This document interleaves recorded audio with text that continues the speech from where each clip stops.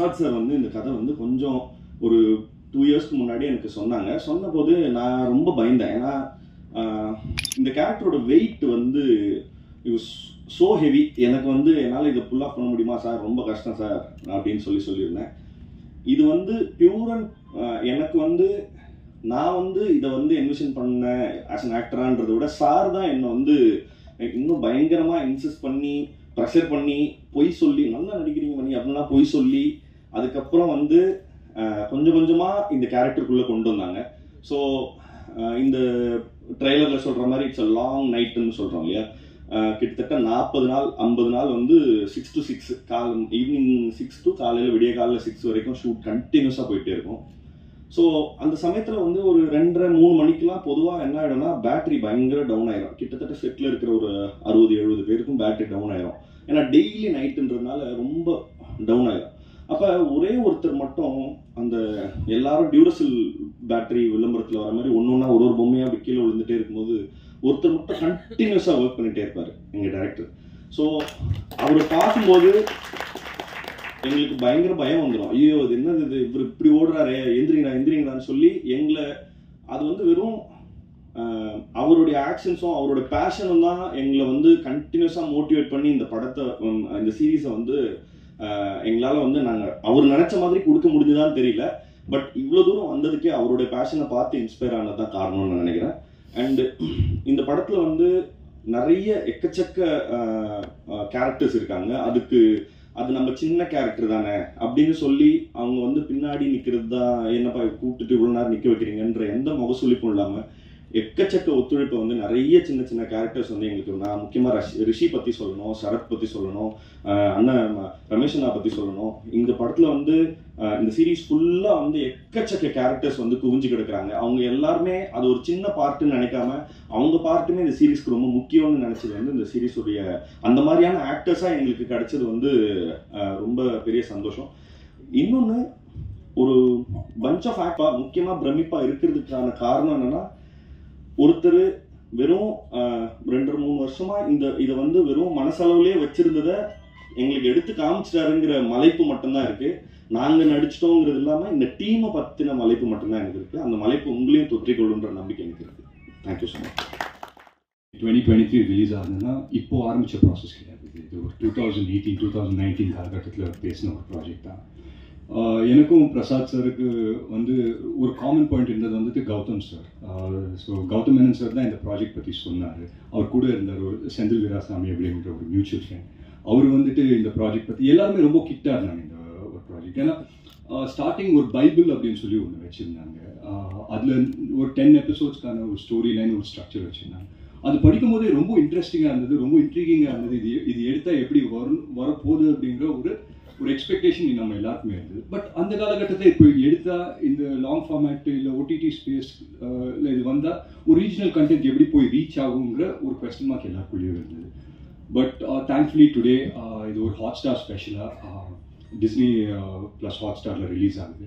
So என் முதல் நன்றி வந்துட்டு பிரதீப் சருக்கு சொல்லிக்கிறேன் அண்ட் ஹாட் ஸ்டார் டீமுக்கு சொல்லிக்கிறேன் ஏன்னா இன்றைக்கி வந்துட்டு செவன் லாங்குவேஜ் கண்டென்ட் ரீச் ஆகுது. அப்படின்னு ரொம்ப ரொம்ப சந்தோஷமாக இருக்குது அதை தாண்டி ஸ்க்ரீன் சீன் சுந்தர் சார் அவரும் இந்த ப்ராஜெக்டில் வந்துட்டு ரொம்ப பேஷனட்டாக இந்த ப்ராஜெக்ட் எடுத்து நான் பண்ணுறேன் அப்படின்னு சொல்லி முந்திக்கிட்டு வந்தார். ஸோ அவருக்கும் ஒரு மிகப்பெரிய நன்றி. அதை தாண்டி மத்தகம் பற்றி சொல்லணும்னா ஒரு ஒரு காப் ஸ்டோரி அப்படின்னா நம்ம என்ன எக்ஸ்பெக்ட் பண்ணோம் அப்படின்னு தெரிஞ்சுட்டு போகலாம். பட் இது வந்துட்டு அதை தாண்டி ஒரு ஒரு சின்ன நாட் இருந்தது. அண்ட் இதை எப்படி ப்ளே பண்ணலாம் அப்படின்னு சொல்லி ஒரு ஒரு கொஸ்டின் மார்க் இருந்துகிட்டே இருந்தால் நான் பிரசாத் சார் கிட்ட போய் சொல்லிட்டு இருக்கேன் சார் நம்ம இன்னும் கொஞ்சம் எக்ஸ்ட்ராவாக பண்ணலாமா சார் இல்லை இல்லை சார் இந்த மீட்டர் கரெக்டாக இருக்கு. இதுக்கு மேலே போகாதீங்க. ஸோ ஒவ்வொரு தடவை நான் பெர்ஃபார்ம் பண்ணிட்டு வரும்போது எனக்கு ஒரு டவுட் இருந்துக்கிட்டே இருக்கும் சார் இது கரெக்டாக இருக்கா கரெக்டாக இருக்கா? அப்படின்னு சொல்லி கேட்டுட்டே இருப்பேன். ஸோ அவரு அவருக்குள்ளே இருந்த ஒரு கான்ஃபிடென்ஸ் அண்ட் இது பிரசாத் சார் வந்துட்டு குவீன் பண்ணுறதுக்கு முன்னாடி எழுதின ஒரு script so I think I believe that queen வந்துட்டு ஒரு ஒரு பெரிய ஓப்பனிங்காக இருந்தது அப்படின்னு சொல்லி நான் that way I think Mathagam திரும்பி எல்லாருக்குமே ஒரு ஒரு அண்ட் இன்னைக்கு வந்துட்டு வெப் சீரிஸ் எல்லாருமே பார்க்குறாங்க. இன்னைக்கு லாங் ஃபார்மேட் எல்லாருமே பார்க்க ஆரம்பிச்சிட்டாங்க. That way I think Mathagam வந்துட்டு ஒரு ஒரு ஸ்பெஷலான ஒரு சீரீஸாக கண்டிப்பாக இருக்குன்ற ஒரு நம்பிக்கை எனக்கு இருக்கு. அண்ட் uh, இந்த டெக்னீஷியன்ஸ் பற்றி நான் சொல்லியே ஆகணும். சினிமாட்டோகிராஃபர் எட்வின் சார் அவரோட ஒர்க் பண்ணும்போது நீங்கள் இப்போ பார்க்கும்போது எல்லாரும் சொன்னாங்க இல்லைங்களா? நைட்டில் தான் ஷூட் பண்ணுறோம் ஸோ நைட்டில் ஷூட் பண்ணும்போது நான் செட்டில் ஃபர்ஸ்ட் டே போனேன். போகும்போது வந்து வெல்லிட்டாக இருந்தது. நிறைய லைட்ஸு எல்லாமே இருந்தது. சரி ஓகே ரிஹர்சல்லாம் பார்க்கும்போது எல்லாருமே பார்த்துட்டு இருந்தோம். மானிட்டரில் போய் பார்த்து எல்லாமே சூப்பராக இருந்தது. ஓகே டேக் போகலாமா அப்படின்னு சொல்லி பிரசாத் சார் சொன்னாங்க ஓகே டேக் போகலாம் அப்படின்னு எல்லா லைட்டையும் அனுப்பிச்சிட்டாங்க. சார் இப்போ எல்லா லைட்டையும் அனுப்பிச்சிங்க நாங்கள் எங்கே நடிக்கிறது சார் அப்படின்ற ஒரு கொஸ்டின் மார்க் இருந்தது. இல்லை சார் தெரியும் சார் தெரியும் சார் அப்படின்னு சொல்லி ஸோ ஒரு ஒரு டேக் முடிச்சுட்டு வந்துட்டு ரொம்ப ஆவலாக மானிட்டர் முன்னாடி நின்று பார்ப்போம் இது எப்படி வந்திருக்கு அப்படின்னா பிரசாத் சார் ஆகட்டும் இல்லை எட்வின் சார் ஆகட்டும் ஆஹா சூப்பராக இருக்கு. இந்த ஷாட் தான் நான் எதிர்பார்த்தேன் அப்படின்னு சொன்னேன். என் கண்ணுக்கு என் மூஞ்சி தெரியவே தெரியாது. நான் எங்கே இருக்கேன் அப்படின்னு சொல்லி தெரியவே தெரியாது. நான் வந்து இப்போ இல்லை சார் எனக்கு தெரிய மாட்டேங்குது சார் அப்படின்னு சொல்லிட்டு இப்போ இப்போ சொன்னால் அவங்க தப்பாக நினைப்பாங்க அப்படின்னு சொல்லி நானும் ம் சார் பயங்கரமாக sir super sir extraordinary sir அப்படின்னு சொல்லி சொல்லிட்டு பட் டப் டப் பண்ணும்போது தான் தெரிஞ்சது அவங்க வந்துட்டு என்ன சொன்னாங்க அப்படிங்கிறது. உண்மையிலே quality wise I feel Mathagam is on par with any of the top web series அப்படின்னு சொல்லி உண்மையிலேயே நம்புறேன் நான். முதல் வார்த்தை எந்த ஒரு ப்ராஜெக்ட்டும் கிரியேட்டிவ் ப்ராஜெக்ட் ஒரு விஷயம் நம்புறதுன்னா ட்ரஸ்ட் அப்படிங்கிற ஒரு வார்த்தையில தான் ஒட்டுமொத்த ப்ராஜெக்ட்டுமே இயங்குது. சினிமாவாகட்டும் வெப் சீரிஸ் எனிதிங் ஒரு ட்ரஸ்ட்டுங்கிற பேரில் தான் இயங்குது. அது ஒரு ஒரு கதையை வச்சிருக்கிற ஒரு டைரக்டரையோ இல்லை ஒரு டீமையோ ஒரு ஆர்டிஸ்டையோ எல்லாத்தையுமே ட்ரஸ்ட் அப்படிங்கிறது தான் நம்பணும்.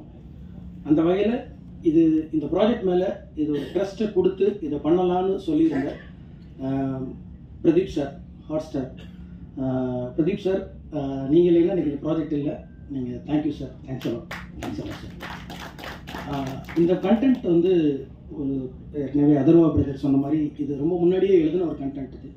இது நான் ஏற்கனவே குயின்னு ஒரு சீரீஸ் பண்ணேன். அதுக்கு முன்னாடியே எழுதினது. ஓடிடி ஸ்பேஸில் ஒரு கண்டென்ட் க்ரியேட்டிவ் கண்டென்ட் பண்ணுங்கிறது ஒரு பெரிய கனவாகவே இருந்தது. நான் கிடாரி பண்ணி முடிச்சதுக்கப்புறமும் எனக்கு ஓடிடி ஸ்பேஸ் மேலே ஒரு பெரிய அட்ராக்ஷன் இருக்குது அதுக்கான நம்பர் ஒன் ரீசன் வந்து என்னென்னா தேட்டர் அது ஒரு வகையான ஆடியன்ஸை ரீச் பண்ணுதுன்னா ஓடிடி இன்னொரு வகையான ஆடியன்ஸை ரீச் பண்ணுது. ரொம்ப பர்சனல் வியூவிங்க்கான ஒரு இடம் இருக்கக்கூடிய ஒரு இடம் தான் அந்த ஓடிடி வியூவிங்கிறது நம்ம தனிப்பட்ட முறையில் தனியாக உட்காந்து பார்க்கலாம் உங்கள் ஃபேமிலியோடு உட்காந்து பார்க்கலாம் உங்களோட பக்கத்தில் அருகாமையில் உட்காந்து ஒரு கதை சொல்லணும் அப்படிங்கிறதுக்கு இன்னும் சொல்ல போனால் ரொம்ப அதிகமாக மெனக்கிடணும். சினிமாவை விடவும் இன்னும் ஒரு படி மெனக்கிட வேண்டியிருக்கு. அந்த நம்ம பார்த்துட்டு வந்த சீரீஸ்லாம் பார்க்கும்போது இது மாதிரி தமிழ்லையும் ஒரு சீரீஸ் பண்ணிட முடியாதாங்கிற ஒரு ஆசை இருந்தது. அது சரியான முறையில் ஓடிடிக்கான ஸ்பேஸும் எல்லா விஷயமும் நடந்திருந்தப்போ இந்த ப்ராஜெக்ட் மேலே எல்லாருமே இன்னைக்கு இதை நம்புறது தாண்டி இதை ஆரம்பித்த கணக்குலேருந்து பார்த்தீங்கன்னா டூ இயர்ஸ் பேக் அப்போ வந்து அப்போ தான் இதெல்லாம் வளர்ச்சி அடைஞ்சிட்டு வருது. இந்த மார்க்கெட்டுங்கிறது அப்போது இதை நம்பணுங்கிறது ரொம்ப பெரிய விஷயம் நம்புகிறேன் அந்த வகையில் நான் வந்து ஸ்க்ரீன் சீன் சுந்தர் சார் அவர் எங்கள் ப்ரொடியூசர் அவர் இந்த ப்ராஜெக்டை ரொம்ப நம்பினார். நான் ஏற்கனவே சொன்ன மாதிரி ட்ரஸ்ட் அதை வச்சுருந்தாரு. சார் மேலே எனக்கு ரொம்ப பெரிய ட்ரஸ்ட் இருந்தது. அவர் சொல்லிகிட்டே இருந்தார் ஓடிடி நீங்கள் எதிர்பார்க்குற மாதிரி ஒரு ஸ்பேஸில் வரும். வரும்போது மத்தகம்ங்கிறது எல்லாருக்கும் போய் ரீச் ஆகும் அப்படின்னு சொன்னார். அதை செஞ்சும் காமிச்சிருக்காரு. அவருக்கு இன்னைக்கு இது பெரிய தேங்க்ஸ் சொல்லிக்கிறேன். ஏன்னா சுந்தர் சார் இல்லைன்னா இன்னைக்கு இந்த ப்ராஜெக்டை இப்படி நம்ம எடுத்துகிட்டு வந்து காமிச்சிருக்க முடியுமான்னா அது ரொம்ப கஷ்டம். ஒரு ப்ரொடியூசருக்கு இவ்வளவு நம்பிக்கை ஒரு இயக்குனர் மேலே இருந்தால் இன்னும் இன்னும் அதிகமாக எவ்வளோ நாள் ஓடலாம்? நான் சுந்தர் சாரோடையும் ஸ்க்ரீன் சீனோடையும் இது ஒரு ஒரு படத்தோடையோ ஒரு ப்ராஜெக்ட்லேயோ அப்படி இல்லாமல் இது லாங் ஸ்டாண்டிங்காக தான் பார்க்குறேன் பொதுவாக மத்தகங்கிறதும் ஒரு இன்னைக்கு நீங்கள் பார்க்குற ஃபஸ்ட்டு செக்மெண்ட்டு தான் நாங்கள் சொல்லுவோம் இது.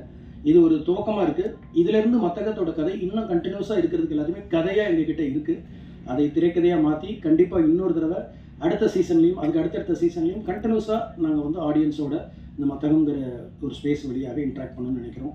அதுக்கு உங்களை மாதிரியான ப்ரெஸ் நீங்கள் தான் சப்போர்ட் பண்ணுறதுன்னு வழியாக தான் அடுத்த கட்டத்துக்கு அது நகரம்னு நம்புகிறேன்